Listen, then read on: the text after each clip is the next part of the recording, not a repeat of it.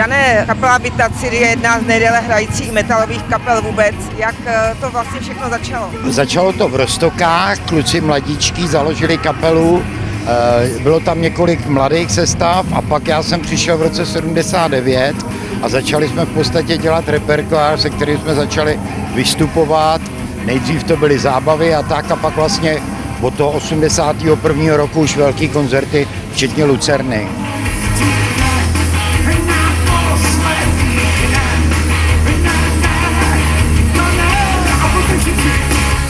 Bude se to možná opakovat, ale jak vznikl ten název? Tohle přesně já nevím, na to existuje různý fámy, ale každopádně zřizovatel eh, Vitacitu, tehdy kapely museli mít zřizovatele, byla základní organizace SSM Penicilinka Rostoky. Takže zřejmě kvůli tomu, protože ten Vitacit tam vyráběl. Já jsem nějak slyšela, že tam byl úplně původní název smetiště, je to pravda? To byla ta původní sestava těch mladíčkých kluků na začátku. Ta neprošla, ten název.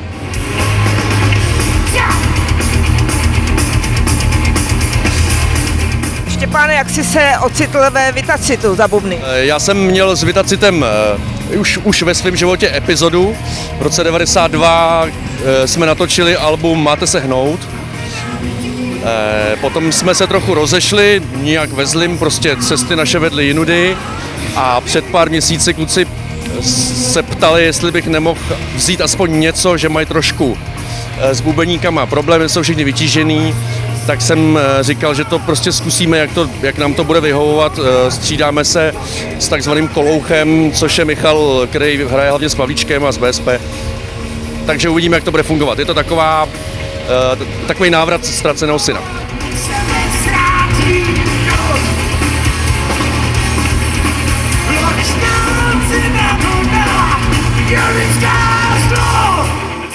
Kapela Vitacit párkrát eh, mírně jakoby usnula, pak se zase zvedla z popela. Eh, Jak je to v současné době? Teďka máte nějaký nový repertoár? Eh, Zatím přehráváme staré věci, ale přehráváme věci z celé historie. To znamená nejenom, ale jak z důru přes oceán, tak co bylo předtím, až potom máte se hnout. Takže lidi můžou vidět celý Vitacit, jak ho nikdy vidět nemohli. Včetně těch sestav s Dodem, s Křížkem, eh, s Fanem a to předtím se mnou. S panem v současné době fungujete jako dvojice zpěváků. Jak vám to spolu šlape? Výborně, protože každý máme trošku jiný rozsah a jinou barvu, že to není tak monotónní. Bohužel dneska je Fanda nemocnej, takže jsem tu sám.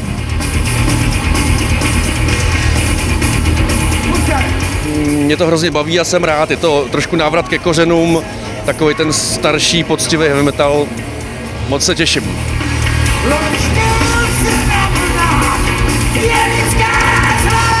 My se začínáme chystat na desku a jakmile budeme mít repertoár na novou desku, tak pak bychom vyjeli šňůru. Tady ta nová sestava se vlastně zžívá rok, jsou tam mladí kluci a každý máme trošičku jiný cejtění, takže to slaďujeme dohromady. Jak jste na ty mladíky přišli, jestli tam byl nějaký konkurs?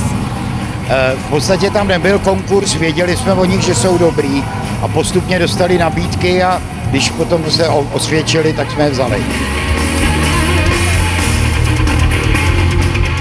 Kapelou prošli eh, zpěváci jako eh, Dodo Doležal, byl tam Láďa Křížek. Kdyby při nějaké výroční akci se sešli bývalí členové, mohlo by to fungovat? Já myslím, že z naší strany by určitě ochota byla, ale bohužel asi Láďa ne. Láďa Křížek byl ve Vitacitu rok a něco v tom prvním a pak až vlastně v roce 2000, myslím, že 10, si udělal Vitacit Láďa Křížek a po dvou letech jsem tam už začal hostovat i já, takže už v roce 2012 jsem s ním zpíval na Mástru a byl tam i Fanny. A když pak odešel a- do Citronu, tak jsme se rozhodli kapela, že budeme hrát spolu dál takhle. Takže on tam určitě, nebyl do roku 2015. takže to je určitě důležité vysvětlení pro fanoušky, kteří nevidí takhle do hloubky. Kasidují kříže, vím, že dát své napředy. Je to hra, je to hra, karetí hra. Děkuji moc a ať se daří. Díky moc. Čau. A co má doma říct, že je hra. Takže ať se Vitacitu s tou mladou krví daří a jenom, jenom to nejlepší. Děkuji pěkně, ahoj, zdravím.